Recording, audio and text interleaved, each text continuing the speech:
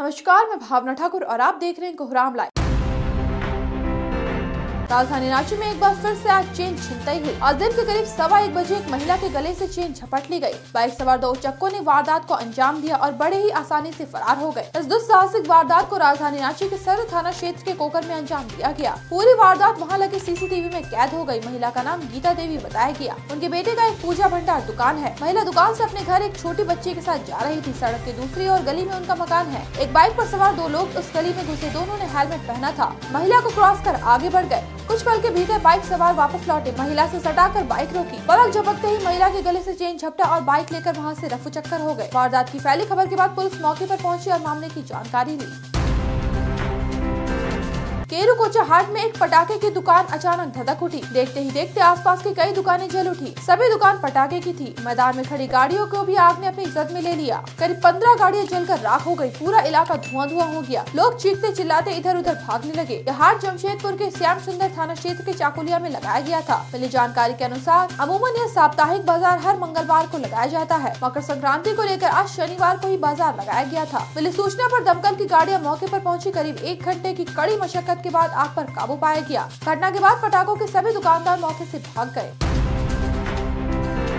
रांची से चलने वाली कई ट्रेनों को रद्द किया गया है। वहीं कई के रूट बदल दिए गए हैं। बीस जनवरी तक Asansol, Ranchi, Asansol, MEMU passenger, Adra, Barka Kana, Adra, MEMU passenger ट्रेनों को कैंसिल कर दिया गया है। वहीं टाटा नगर, हटिया एक्सप्रेस का सत्रह, उन्नीस और बीस जनवरी को रूट चेंज रहेगा। वहीं धनबाद एल एक्सप्रेस के रूट को भी डाइवर्ट कर दिया गया है। यह बदलाव आद्रा, बड़का काना एक्सप्रेस रेलवे लाइन और विजयवाड़ा में हो रहे काम को लेकर किया गया है।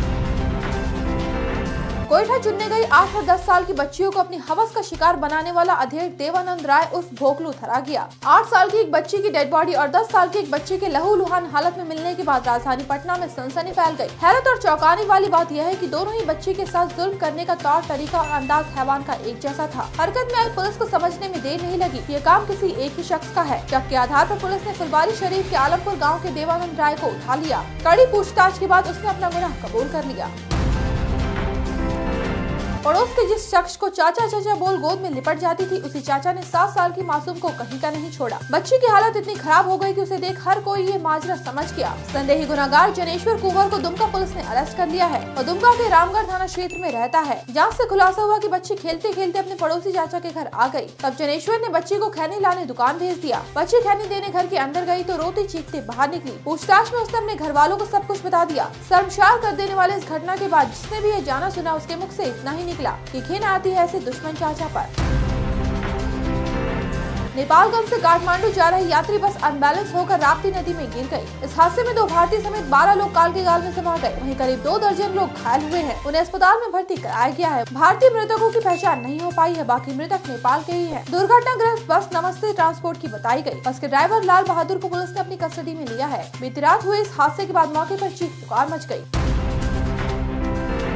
आगामी 25 जनवरी से इंग्लैंड के साथ शुरू हो रहे टेस्ट मैच में विकेट कीपर ईशान किशन को टीम में जगह नहीं मिल पाई। वहीं दिग्गज के राहुल के बारे में कहा गया कि उन्हें विकेट कीपिंग के दायित्व से मुक्त किया जा सकता है। इसके जगह wicket keeper K S Bharat और ध्रुव जुरेल को मौका दिया जाएगा। बीसीसीआई ने इंग्लैंड के खिलाफ पाँच मैचों की टेस्ट सीरीज़ के लिए भारतीय टीम का ऐलान कर दिया है। टीम के कप्तान रोहित शर्मा को बनाया गया है। वही जसप्रीत बुमराह उप कप्तान होंगे। टीम में शुभमन गिल विराट कोहली के एस राहुल, यशस्वी जायसवाल, श्रेयस अय्यर रविन्द्र जडेजा, मोहम्मद सिराज, कुलदीप यादव, अक्षर पटेल आवेश खान, मुकेश कुमार एवं रविंद्र चंद्र अश्विन को जगह दी गई है। ऐसे ही दिन भर की बड़ी खबरों के लिए जुड़े रहिए कोहराम लाइव डॉट कॉम के साथ।